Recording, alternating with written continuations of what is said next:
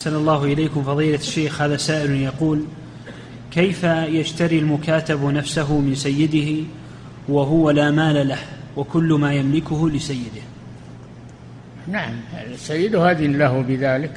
سيده أذن له بذلك وكاتبه على مال. منين يجيب هالمال؟